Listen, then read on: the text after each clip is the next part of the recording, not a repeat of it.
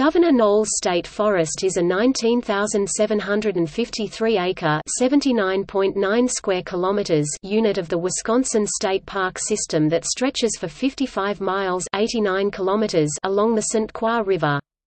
It is managed as a wilderness buffer for the St. Croix National Scenic Riverway.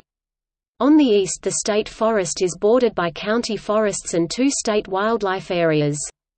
Originally called the St. Croix River State Forest, it was renamed in 1981 to honor former Wisconsin Governor Warren P. Knowles for his conservation and outdoorsman ethics.